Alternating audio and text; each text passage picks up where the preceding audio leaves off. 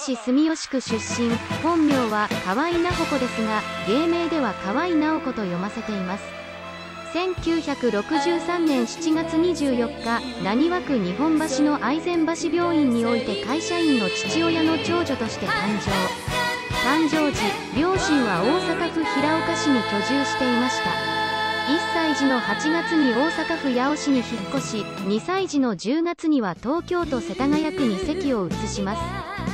幼児の頃父親の職業に転勤が多く幼稚園は東京都調布市の染地幼稚園大阪府箕面市の箕面自由学園幼稚園大阪府東大阪市の若宮保育園の3施設に通いました。大阪市立小浜小学校入学と同時にピアノを習い始めます。大阪市立住吉第一中学校時代はフォークソングクラブに所属。中学2年の秋に日本テレビ系列スター誕生に応募しますがこの時は書類選考の段階で選考外となりました。1979年に私立大阪女子学園高等学校に進学。アイドル歌手時代。1979年12月芸 A プロが自社の看板スターである西城秀樹の名を冠して主催した新人発掘コンテスト秀樹の弟妹募集オーディションに応募。河合がオーディションを知ったのは締め切りの直前で応募書類とデモテープを作成して送ったのは締め切り前日でした。オーディションの選考過程も紙一重で大本京慶の理想の声に近づく本によれば大阪の地区予選も一旦は最終審査に残らず当初の定数1名に対して特別に2人目の代表として選出されました。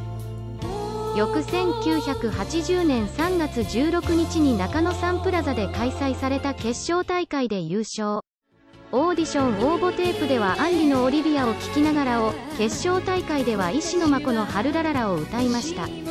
同月末に上京して歌レッスンを受けた後1980年6月1日に大きな森の小さなお家で西城秀樹の妹という触れ込みとともにアイドル歌手としてデビュー。この過程で明治大学附属中野高校定時制に編入し後に卒業しました。なお歌手デビュー当時のキャッチフレーズは「微笑み爽やかカナリーガール」でした。2枚目のシングル「ヤングボーイ」がヒットとなり複数の音楽祭で新人賞を受賞します。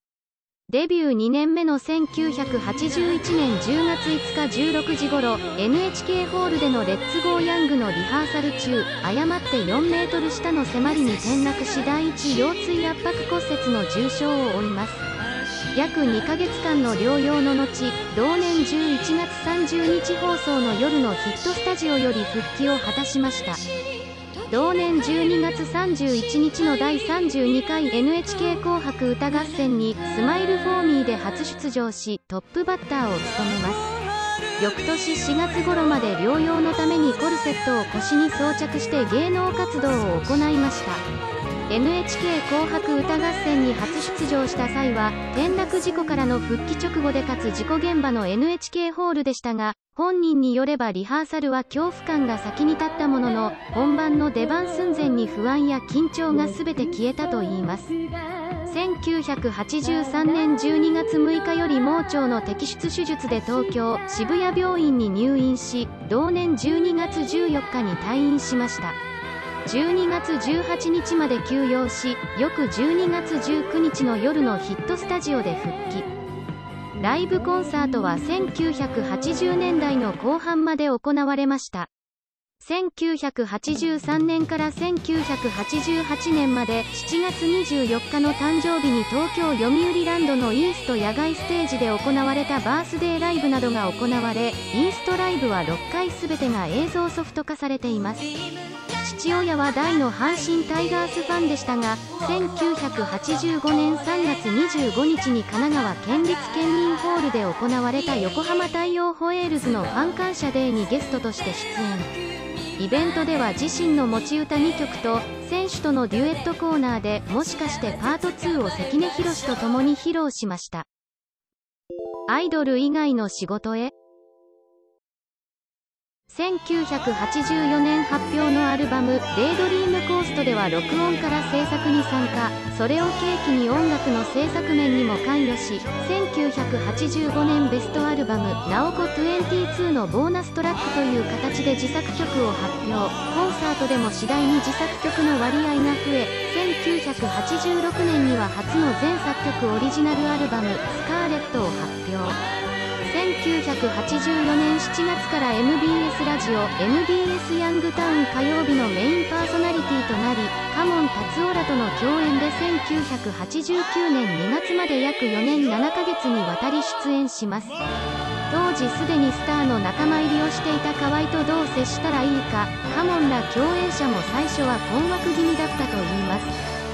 いつまでもチヤホヤしてても仕方ないということで、カモンが一つギャグを振ったらアイドルスターらしからぬリアクションをしてきたということで、ヤンタンのノリにすぐに溶け込み、カモンのツッコミにボケ的なリアクションで返すといったコンビネーションが出来上がったそう。このようなことからアイドル芸人とも言われたこともあり、本人も決まり事以外のことが話せるようになったと話しているのだとか。1987年4月の KBS 京都の交通安全キャンペーン「カタツムリ大作戦」のキャンペーンソングの歌詞募集の選考をしその歌に自ら作曲した「優しさの贈り物」をカタツムリ大作戦の会場 KBS ホールから歌唱しました。またこの時期はテレビドラマやミュージカルにも積極的に出演します。1985年のアニメ映画「ルパン三世バビロンの黄金伝説」では主題歌とともに声優として出演。1989年にはミュージカル「ザラバー・イン・ミー恋人が幽霊」に出演し同作品では作曲も担当しました。テレビドラマでは「さすらい刑事旅情編ママじゃないってば」に出演。1988年に岐阜市で行われた岐阜中部未来博でメインパビリオンであるスカイマックス未来館の館内環境音楽を担当しました。1989年から1990年にはザ・ジェントル・ウィンドメイギのセッションアルバム「Tears of Nature ジェントルボイス」で全作曲を担当するとともにキーボード奏者兼バックグラウンドボーカルとして参加しミッキー・ヨシノらと共演したこともありました。1995年には1988年以来7年ぶりに全国ツアーコンサートを開催しましたが現時点でこれが最後のライブツアーとなっています。結婚芸能活動完全停止。1996年2月1日記者会見にてヘアメイクアーティスト金原隆康との婚約を発表。同年2月6日に結婚。その後も約半年間はテレビ出演などの活動を続けていましたが同年夏頃に妊娠で休止へ入り翌1997年の第1子出産を契機に芸能活動が完全停止となります。2005年6月芸プロ公式ウェブサイトの所属タレント一覧から項目が削除されますがこの時芸能事務所から所属に関する発表はされませんでした。2006年4月26日 iTunes Music Store 限定で自作ピアノ作品集「ナオコ音」を発表し同年11月28日には CD 化もなされ同時に公式ウェブサイトが開設されます2008年12月21日付の竹内まりやのブログ「フォログ」に6年ぶりに再開した記事が写真付きで掲載されました。2009年10月19日放送のスーパーサプライズにおいてすでに芸営に所属していないことが報じられました。2010年4月楽曲提供した池田泉州銀行の CM が関西地区で放映。2010年10月26日発売の公文社発行の雑誌フラッシュ2010年11月9日16日号で独占取材という形でオーストラリアでの近況についての記事が掲載されましたその中で自身の現在のことと将来のことに関して今は専業主婦がメインだが音楽活動ができることになれば皆さんの前できちんとご挨拶できたら良いですという旨のコメントを寄せています。2018年5月16日かつての所属事務所芸栄の先輩歌手で自身が芸能界デビューのきっかけともなった西城秀樹が63歳で逝去したのを受け海外からあまりにもショックすぎて言葉が出ません。秀樹さんにただただ多くの感謝の気持ちをお伝えしたい思いでいっぱいです。と久々に公の場で追悼のコメントを発表。2018年11月25日 NHKFM 今日は一日竹内まりや三昧にて竹内まりやへの40周年お祝いメッセージが21年ぶりに本人の肉声で放送されました。ここからは動画のコメントを見ていきます。17歳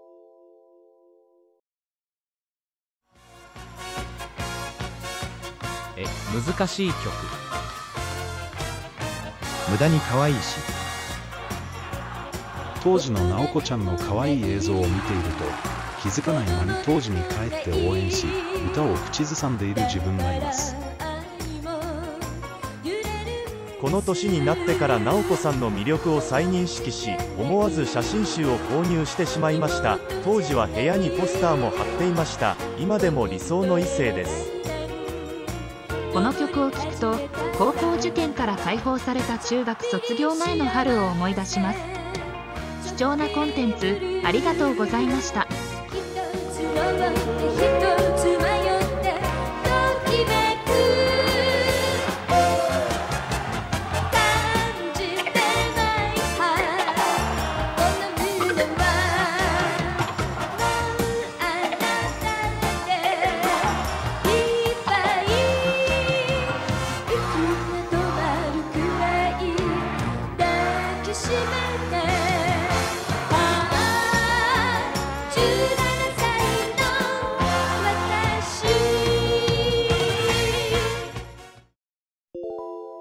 ナドゥ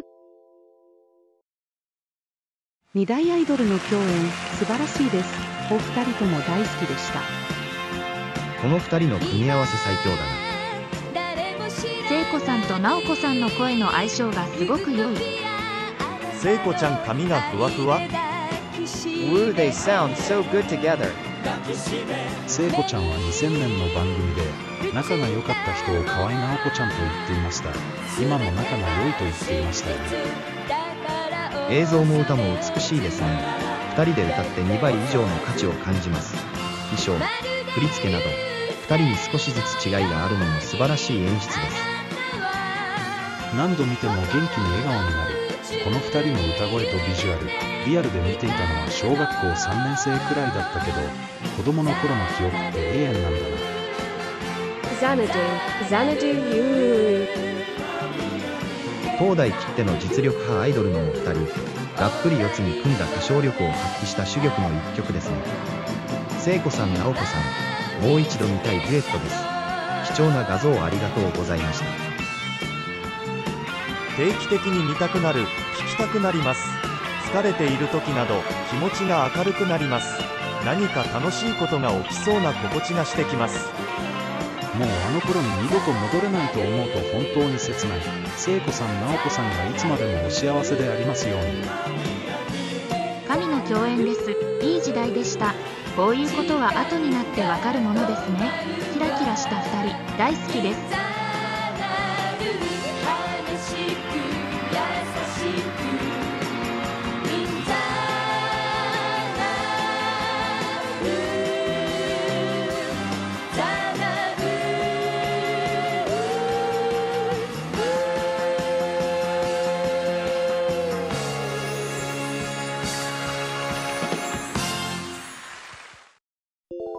スローモーション透明感あるな。こんな組み合わせがあったなんて素晴らしすぎて感動の嵐です。直子さんが時々明菜さんの方を向いて気にかけているところに直子さんの優しさを感じます。明菜さんもとても楽しそうで微笑ましいです。中森明菜もうまかったけど河合直子もめちゃくちゃうまいですねこの2人なんとなく気が合いそうだな。朗らかで明るい直子ちゃん。繊細だけどひょうきんな明菜ちゃん。2人とも大好き。河合直子さんが歌うと少し明るくなる明菜ちゃんが歌うと寂しさが流れてくるから歌手の聴き比べ面白い。すごい歌唱力。ただのテレビの企画なのに完全に自分のものにしてる。I love both of them まさにこの2人が大好きだっお互いの曲を楽しく歌い合って素敵な企画でしたね。アキナちゃんはスマイルフォーミーでした。I miss the 80s so much. 最後に一緒に歌い出した瞬間なぜだか涙が出てしまいました。いい時代ですね。たやっぱ2人とも歌が上手いからビブラートが揃ってるね。中森明菜さんのスローモーションをこんなにも綺麗に歌う人がいるなんて。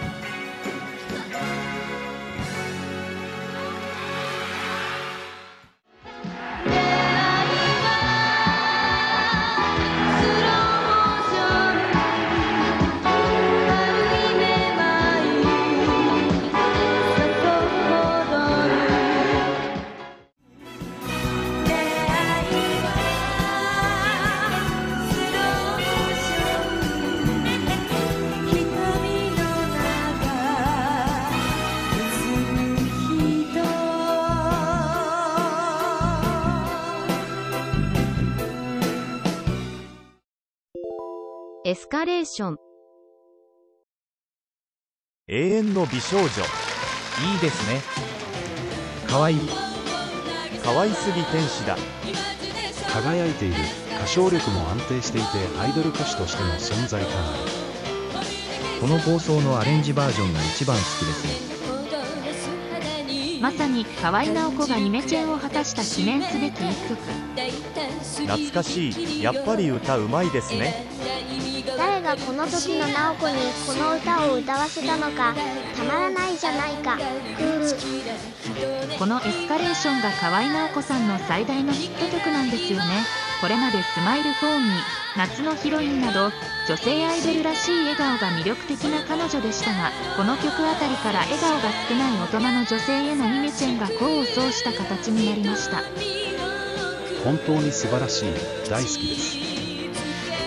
聖子直子は80年代アイドル双璧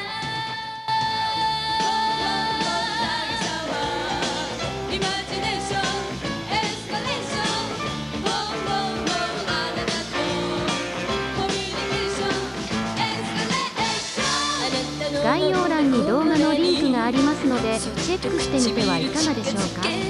ご視聴ありがとうございました。怪しい光放つ熱答えてよ